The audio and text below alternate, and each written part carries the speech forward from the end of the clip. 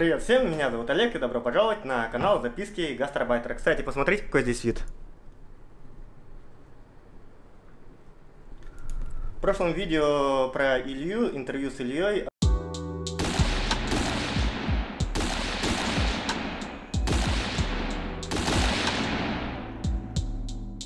э, Многие задали вопрос по поводу юридических вопросов открытия компании в Китае. А насколько сложно иностранцу вести предпринимательскую деятельность в Китае? И кроме того, насколько тяжело открыть ресторан в Китае? И на эти вопросы нам ответит Ольга из DZ Legal, основатель данной компании.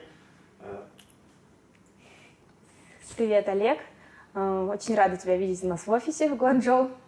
Э, надеемся, что ты будешь чаще к нам приходить. Э, представлю сначала. Меня зовут Ольга, я соучредитель компании DZ Legal – Э, мы работаем уже в Гонконге с 2013 года, в, э, в Китае с конца 2013 года. Занимаемся в основном э, обслуживанием иностранного бизнеса в Китае и в Гонконге, а именно регистрацией компаний, защитой интеллектуальной собственности и прочими услугами, связанными с реализацией деятельности на территории Китая. И у меня сразу будет э, первый вопрос. Вообще, насколько сложно и насколько трудозатратно в плане времени и денег открытие компании в Китае? Все зависит от того, чем будет заниматься компания и в каком э, городе э, она будет регистрироваться, э, при каких условиях э, компания будет осуществлять свою деятельность. То есть э, базовые расходы на регистрацию компании могут варьироваться там, от 1000 долларов до 20-30 тысяч долларов, в зависимости от того, какого агента э, или какую юридическую компанию вы выберете. Следующий вопрос. А насколько по времени и по деньгам отличается открытие компании в разных регионах? И вообще э, отличается по правилам э, при открытии компании, например, в Гуанчжоу, открытие компании в Шанхае или открытие компании в Шэньчжэне или в Пекине именно по правилам, по предоставляемым бумагам и так далее? Ну, так как э, наши офисы в основном сконцентрированы на юге Китая, а в данном случае это провинция Гуандун, э, то э, мы можем судить исключительно по условиям в Гуандуне. А именно в Гуанчжоу и в Шэньчжэне мы приведем для примера. Э, по условиям э, примерно требования не отличаются. То есть список документов э, примерно одинаков. И зависит от того, кто будет учредителем этой иностранной э, компании с иностранными инвестициями. Это может быть, э, это может быть э, иностранная компания, это может быть иностранное физическое лицо, это может быть э, та же гонконгская компания. То есть, э, исходя из условий регистрации, эм, исходя из ситуации инвестора, расходы на регистрацию отличаются. То есть, если это физическое лицо, в настоящий момент достаточно паспорта и контракта на аренду помещения. Если это иностранная компания, то нужно легализовывать пакет документов – регистрационных для этой компании. Нужно э, также собирать э, документы на аренду помещения здесь уже на территории Китая. То есть это два основных документа. Помимо этого могут запросить какие-то дополнительные справки или формы, но в основном регистрирующие компании готовят самостоятельно. Следующий вопрос. Возможно ли ведение деятельности за пределами территории, где открыта компания? То есть, например, если компания открыта Э, в Гуанчжоу, можно ли вести деятельность в Шэньчжэне, Шанхае, Пекине и можно ли вести деятельность за э, пределами Китая? Все зависит от того, какую деятельность вы ведете. То есть, если у вас компания зарегистрирована в Гуанчжоу, вы имеете право э, осуществлять коммерческие операции и э, с компаниями, находящимися в любых других городах Китая и за пределами Китая. Вы имеете право получать платежи от, от э, клиентов, вы имеете право оплачивать э, счета э, на, на компании в любой части Китая. Но если речь идет о открытии офиса, э, представительского офиса, либо о фактической деятельности на территории, физическом присутствии на территории других провинций или городов, то здесь от вас потребуется регистрация филиала этой компании. А чем отличается филиал от э, просто компании? Очень важно понимать разницу между филиалом и головной компанией. Э, филиал э, имеет право на такую же хозяйственную деятельность, как и головная компания. Он имеет также своего ответственного законного представителя, но при регистрации филиала в другом городе уставный капитал на этот филиал, он будет вноситься из он будет вноситься из, из резервов головной компании. То есть, по сути, этот филиал, он полностью зависит от головной компании, и вся его деятельность связана, то есть вы имеете право получать платежи и осуществлять хозяйственную деятельность без, не облагая налогами с головной компанией. И следующий вопрос, какой э, минимальный капитал для открытия компании, то есть минимальный уставной капитал? Уставный капитал – это э, очень важный вопрос, который следует, в котором следует разобраться, прежде чем регистрировать компанию в Китае, и в то же время это э, такой камень преткновения для многих компаний, которые собираются регистрировать, потому что существует очень много заблуждений по вопросу уставного капитала. Во-первых, с 1 марта 2014 года уставный капитал э, приобрел более условное содержание, то есть э, от вас не потребует в день регистрации внести на счет компании 3 миллиона долларов и заморозить их на счете. Это абсолютно точно. Сейчас уставный капитал э, – это условное э, понятие. Э, его требуется проводить через счет компании, но на это дается, во-первых, э, а, от двух лет – и далее этот срок можно продлевать на срок действия лицензии компании. А обычно это 30 лет. То есть э, уставный капитал – это та сумма, э, э, на которую, на которую несет ответственность инвестор, учредитель компании. Если эта сумма прошла через счет компании и была отмечена как уставный капитал, то учредитель не несет ответственности своими финансами за какие-то долги компании да, в случае возникновения спорных вопросов. Если же уставный капитал не проведен, не проплачен на счет компании, то в случае каких-либо судебных разбирательств учредителю придется отвечать а, своим собственным кошельком, так сказать. Вот, получается, а, уставный капитал а, может быть сейчас даже один юань. То есть так вот в китайцы шутят, да, начать компанию за один юань. Это может быть и один юань, но для некоторых видов деятельности есть э, минимальные требования. И э, также, если компания с иностранным капиталом э, начнет приглашать иностранных сотрудников, оформлять рабочие визы, желательно, чтобы ставный капитал был назначен на сумму не менее 500 тысяч юаней. То есть это уже миграционные органы Китая обращают внимание на то, какую финансовую ответственность несет компания на территории Китая. А минимальный установленный капитал 500 тысяч юаней – это сумма именно э, для того, чтобы нанять дополнительных работников, или если э, владелец данной компании тоже хочет э, сделать себе рабочую визу, ему тоже нужно внести минимум 500 тысяч юаней. А, повторю еще раз, вносить для оформления той же рабочей визы от вас не потребует вносить уставный капитал. Это сумма, которая обозначена уставом компании. То есть при регистрации – мы заполняем устав компании, в которой прописывается сумма уставного капитала. И у вас есть э, как минимум два года на проведение этой суммы через счет. То есть ее там никто не замораживает. Уставный капитал э, можно тратить на, можно тратить на расходы компании. А теперь давайте вернемся к Илье. И следующий вопрос. А может ли иностранец открыть заведение общепита здесь, в Китае? И какие для этого бумаги потребуются? Так, по поводу... Э, давайте мы этот вопрос немного расширим. Э, если есть определенные виды деятельности э, в Китае, которые ограничены правительством Китая для э, работы с иностранными инвестициями. Э, предприятия общественного питания к этому не относятся. То есть э, абсолютно любой иностранец, э, не нарушивший законодательство Китая, не имеющий проблем с законом в Китае, имеет право открыть предприятия э, в данном виде деятельности. И э, для того, чтобы открыть предприятие общественного питания, необходимо, во-первых, вам потребуется зарегистрированная компания в Китае на помещении, которое планируется организовать как предприятие общественного питания. Во-вторых, необходимо получить лицензию на общественное питание – для получения этой лицензии необходимо, чтобы помещение соответствовало пожарным и санитарным нормам э, департамента э, по коммерции. И у меня следующий вопрос, он больше связан с моей, так сказать, сферой деятельности, так как при открытии, например, IT-компании требуется намного больше бумаг. И вообще, какие согласования требуются, чтобы открыть IT-компанию, особенно компанию, которая занимается трафиком и подобным.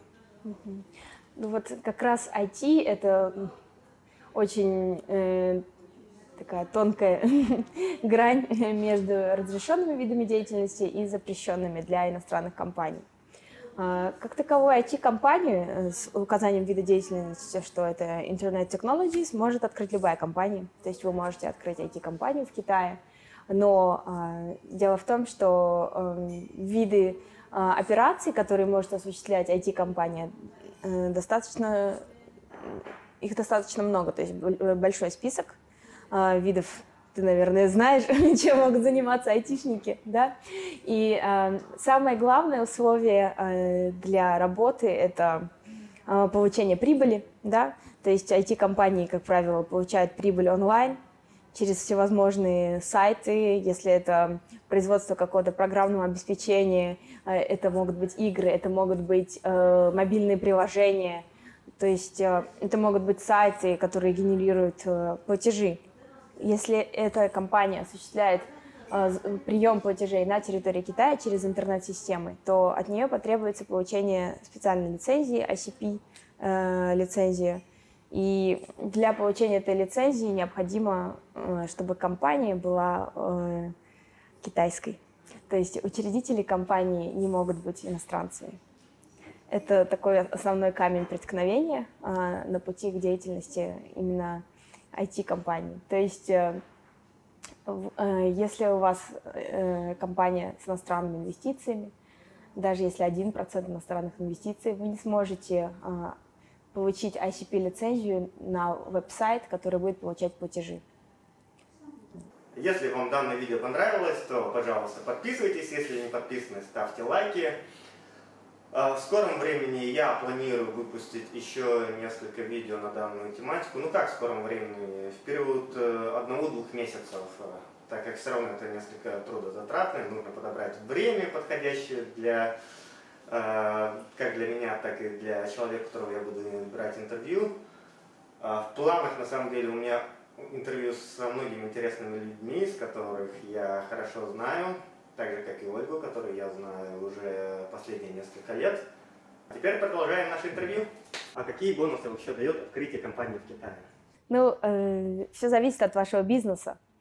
Для э, компаний, которые нуждаются в физическом присутствии, в легальном физическом присутствии на территории Китая и более стабильными э, транзакциями, э, как международными, так и на территории Китая, плюсов абсолютно много. То есть, э, во-первых, э, вы, зарегистрировав компанию в Китае, вы имеете право или даже обязаны иметь э, действующий офис. Вы можете приглашать иностранных специалистов, нанимать их на работу, платить налоги. Вы, име, вы имеете право приглашать на работу китайских, китайских специалистов, да. То есть мы говорим о, о зарегистрированной компании в статусе ООО на территории Китая. То есть мы не говорим о представительствах здесь немного разные понятия. То есть если это зарегистрированная компания ООО, э, вы имеете право работать э, с китайскими компаниями, получать платежи в юанях. Если вы получаете лицензию э, на осуществление валютных операций, вы имеете право получать в иностранной валюте платежи на ваш счет. То есть возможностей очень много. То же самое сейчас я знаю, что многие столкнулись с проблемами э, с банками, с гонконгскими компаниями, с работой банковских счетов.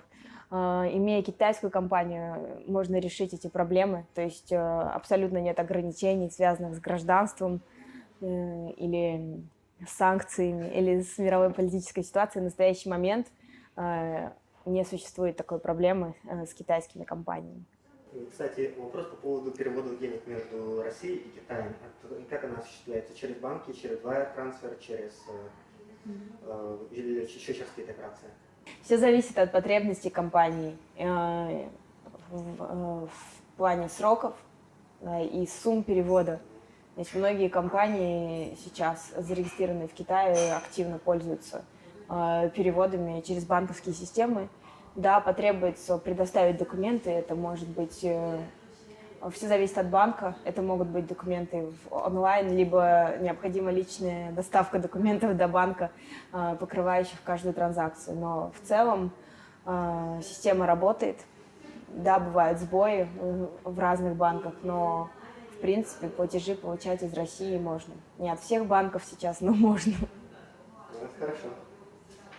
И следующий у меня вопрос, нужно ли нанимать китайцев для того, чтобы получить рабочую визу на себя? Потому что я знаю, что, например, для того, чтобы открыть компанию в Малайзии, для того, чтобы открыть компанию в Таиланде, нужно нанимать несколько местных человек, прежде чем ты сможешь оформить рабочую визу на себя. Как э, с этим обстоят дела в Китае?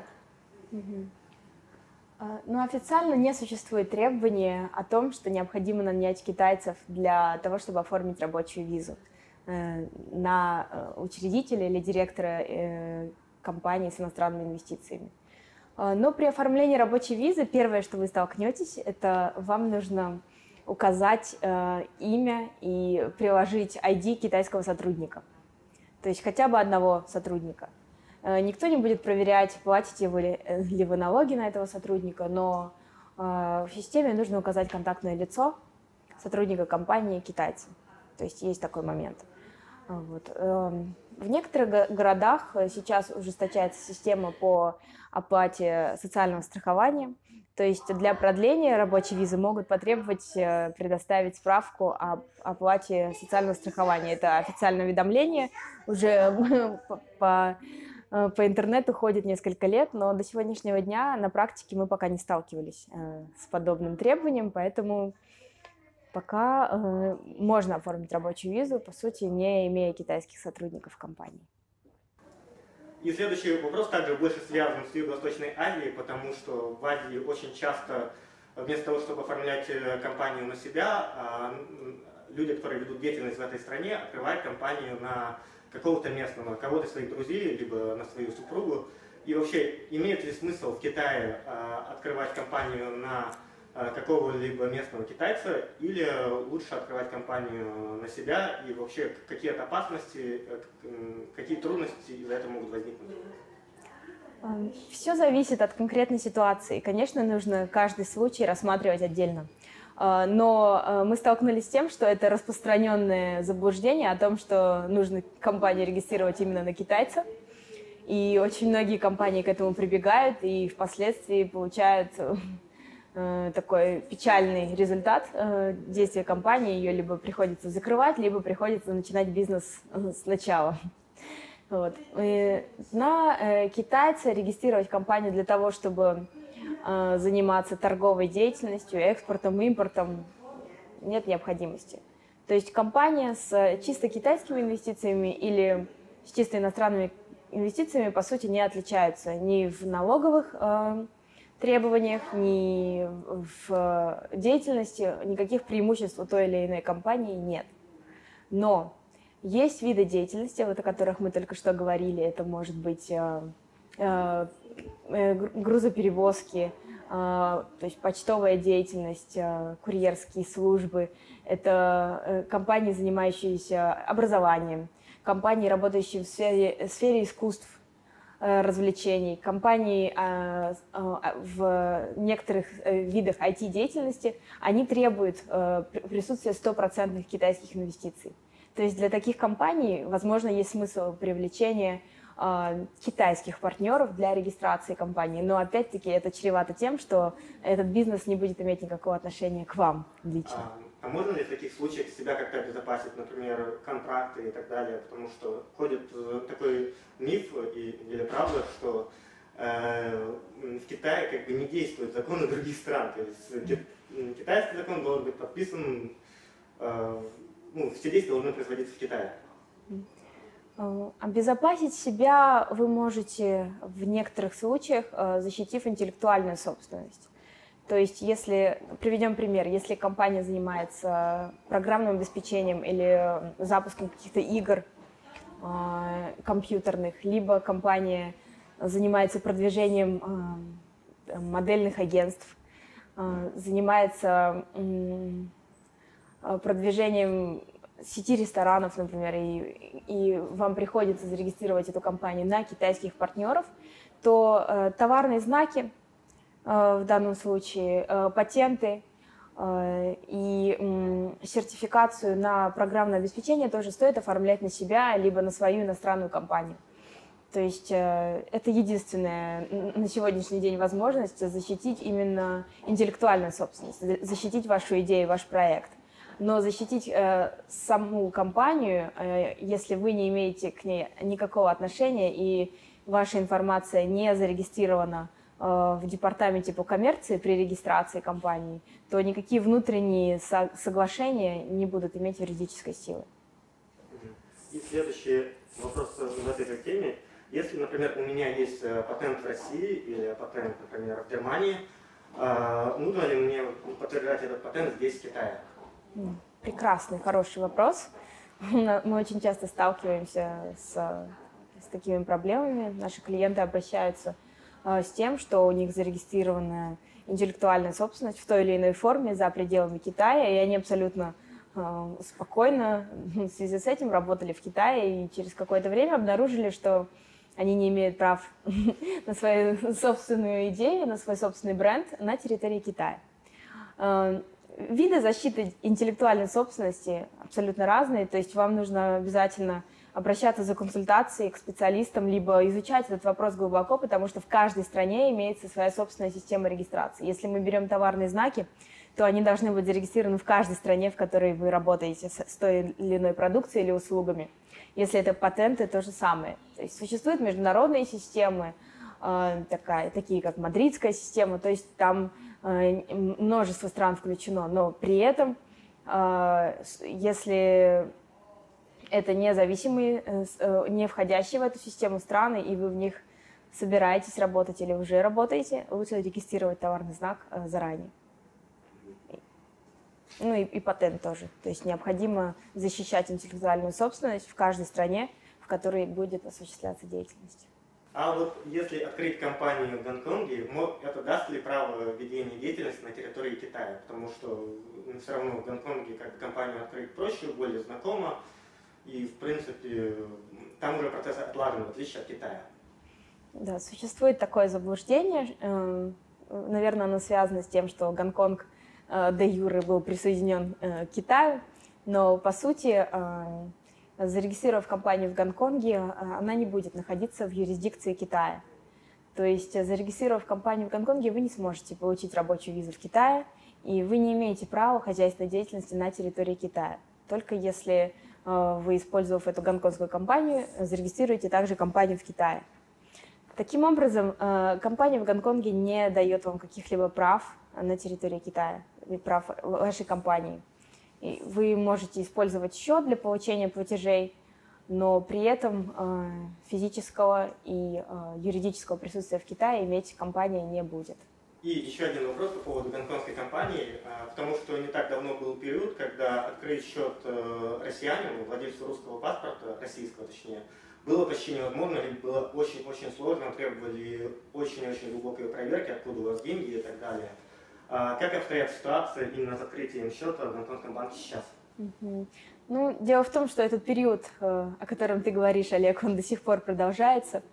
И неизвестно, сколько эта временная ситуация продолжится в связи с санкциями, э, которые коснулись не только России, но э, в гонконгских, в банках на территории Гонконга, да, в том числе в банках, которые связаны с Европой и Америкой, есть формулировка не только э, страны под санкциями, но и страны с нестабильной военной или и экономической обстановкой. А к этим странам можно отнести абсолютно любую страну из э, бывшего СССР. Таким образом, э, многие да, клиенты столкнулись с тем, что зарегистрировав компанию в Гонконге, много лет ей просто невозможно пользоваться. Как раз-таки на на этом фоне стало очень э, удобно и выгодно открывать китайскую компанию. То есть э, э, в связи с этим очень многие иностранные предприятия просто стали открываться в Китае и работать спокойно, потому что в Гонконге сейчас с российским паспортом, с украинским, с белорусским очень сложно открыть, открыть счета. Есть банки, которые по-прежнему работают, но там есть ограничения по э, обороту компании, то есть там необходимо обеспечивать определенный оборот. Э, также э, само обслуживание в банках достаточно дорогое, то есть не для всех компаний это рентабельно. Ну и, наверное, последние вопросы. Как вообще платить налоги? Платить налоги в Китае, платить налоги в России, платить налоги в России и в Китае, или можно платить налоги только в одном месте? А, Все зависит от того, э, какой статус налогового резидентства у вас. То есть, если вы работаете в Китае по рабочей визе и э, платите налоги на доходы физических лиц, э, то при нахождении на территории Китая э, в, в течение определенного срока э, вы платите налоги э, в Китае. Это речь идет о россиянах э, в связи с тем, что было подписано соглашение об избежании двойного налогообложения. То есть, получив справки об уплате налогов на доходы физических лиц в Китае, вы предоставляете их в налоговые органы в России, если хотите задекларировать факт оплаты налогов на территории Китая. А, то же самое для компаний, то есть если вы являетесь учредителем китайской компании, а, и ваша компания получает доход здесь на территории Китая, вы оплачиваете налоги на доходы предприятий. А, точно так же декларации подаются на территории в России, в российские налоговые органы об оплате налогов. Существует ограничение по срокам, то есть при нахождении Э, в России в год э, более чем 180 э, дней, там меняется уже статус налогового резидентства и уже другая ситуация. Но в связи с тем, что законодательство достаточно новое и не отработаны еще механизмы, поэтому сложно сказать, как будет происходить расчет на данный момент. Но я думаю, что в течение года это будет более понятно задам еще один вопрос, который также связан с налогами, потому что э, получается, ты платишь налоги здесь как предприятие, не как частное лицо. Ну, а когда в бумагах ты указываешь, то, что у тебя такая-то такая зарплата или нет? Ну, если вы оформляете рабочую визу на себя, даже как на директора компании, либо в качестве инвестора, то есть вы автоматически трудоустраиваетесь в свою собственную компанию, и вы платите налоги на доходы предприятия, и вы платите налоги на доходы физических лиц. А, То есть вы платите несколько видов налогов в любом случае. А если налог именно на физическое лицо, то я знаю, что в Китае подоходная система налогов, то есть чем больше ты получаешь, тем больше у тебя налог. То есть, получается, можно указать то, что моя зарплата 2000, например, юаней, и платить меньше, меньше налог, или можно указать то, что у тебя зарплата, там, я не знаю, 50 тысяч, и ты будешь платить 20 тысяч налогами. Ну, существует минимальная а, сумма заработной платы, а, которая не облагается налогом для иностранцев а, по Гуандуну, скажу, по провинции Гуандун, это 4800 юаней. То есть при заработной плате а, до 4800 юаней вы не платите налог на доходы физических лиц. Это э, вопрос с налоговой стороны. С другой стороны, э, вопрос э, к иммиграционным органам, вернее, иммиграционные органы Китая могут задать вопрос, либо просто отказать в визе на основании того, что у иностранца недостаточно средств проживания при такой зарплате в Китае, понимаете? Либо дать категорию визы, низкую категорию. То есть существует сейчас градация до иностранных кадров. Э, То есть при заработной плате ниже 4800 э, юаней э, большая вероятность, что по баллам вы попадете в категорию C. А по этой категории за, э, разрешение на работу выдается на полгода, и его очень сложно продлить на самом деле. Поэтому э, не всем компаниям выгодно писать необлагаемые ставки. Лучше сделать э, среднюю заработную плату, оплачивать небольшой налог. То есть, к примеру, при заработной плате в 6 тысяч юаней э, ставка, э, общая сумма налога на доходы физических лиц около 36 юаней составляет в месяц. При заработной плате 6500 юаней там около 63 юаней всего э, получается. Единственное, а, если компания оплачивает социальное страхование, а, то а, там минимальная ставка при заработной плате минимальной составляет около 1000 юаней в месяц, из которых э, около 30% платит э, сотрудник и 70% оплачивает работодатель.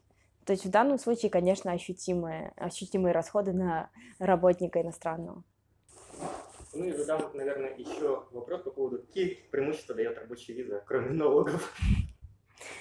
А, на самом деле, проживая в Китае, можно получить много преимуществ, имея рабочую визу. Ну, во-первых, это а, спокойное проживание на территории Китая, да, спокойная легальная работа. То есть, имея рабочую визу, разрешение на работу, вы можете абсолютно с чистой совестью приходить в офис, приходить э, в свою компанию и работать, не боясь, что иммиграционные органы или полиция проверит, э, проверит ваш офис, а, оштрафует э, вас или вашу компанию, либо депортирует вас или ваших сотрудников. То есть это все реально, это может случиться, абсолютно выборочная, случайная проверка может привести на самом деле к серьезным последствиям. Поэтому наличие рабочей визы при э, осуществлении деятельности в Китае очень важно. Это первый момент. Второй момент э, э, при оформлении каких-либо документов, э, будь то открытие счета в банке, либо подача на визы в такие страны, как США, страны Европейского Содружества, достаточно большим преимуществом является наличие рабочей визы, разрешения на работу в Китае. То есть э, процент отказов э, при получении, при подаче на эти визы достаточно низкий. А, получается, в США несложно получить визу? При наличии рабочей визы и а, обосновании вашего нахождения в Китае Э, после вашей поездки, предполагаемой поездки в США, конечно, конечно, шансов достаточно ну, много. Ну, нужно будет также счет показать. Uh, да, на самом деле для получения американской визы не обязательно предоставление каких-то подтверждающих документов, но при немножко уже отойдем от, от нашего топика, да, от нашей темы, но если э, у вас при собеседовании спросят о, о, распечатке из банка, либо справки с работы, а у вас ее не окажется, то, конечно, это может послужить опыт, эм, поводом к отказу в визе. Понятно. Ну, в общем, вот так вот. Если у вас есть какие-либо вопросы к Ольге, то можете задавать комментариях, если у нее будет время, она ответит, либо вы можете обращаться к ней напрямую, я оставлю ее контакты, ссылки в описании. Вы можете перейти на сайт, а также написать э, куда? WhatsApp? В WeChat, WhatsApp, на почту. Мы ну, можем предоставить контакты. Да, и вот все эти контакты будут внизу, в описании. Ну, вообще, в, в рамках одного экспресс-интервью очень сложно охватить все вопросы. То есть мы находимся в Китае, постоянно мониторим э, информацию об изменениях законодательства, о процедурах э, оформления э, того или иного процесса, той или иной лицензии. И постоянно меняется, каждый год появляются новые требования, поэтому если будут вопросы, конечно, лучше обращаться к специалистам, и э, не всегда в интернете можно найти э, достоверную информацию по этим вопросам. Она очень быстро устаревает. Да, на самом деле законы в Китае меняются каждые несколько месяцев, поэтому без специалиста сложно разобраться. Да. Очень рады были видеть тебя, Олег. Приходи к нам чаще Хорошо. в гости. До свидания. Ладно, спасибо за интервью. Пока.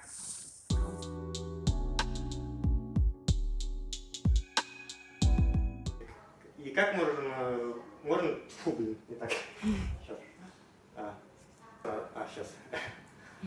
А, следующий вопрос, насколько сильно отличается от, а, тьфу, блин, сейчас. Давай еще раз, я сейчас обдумаю этот вопрос хорошо. Как-то лучше. Так. Ну, этот э, можно пропустить, он не был. Не, он важный на самом деле. То есть... Ну, давай вот этот, еще расскажи по поводу, спрошу по поводу IT-компании. Угу. IT? Угу. вот по IT там, там все сложно, конечно. Я знаю, что это сложно, поэтому Давай, давай. А.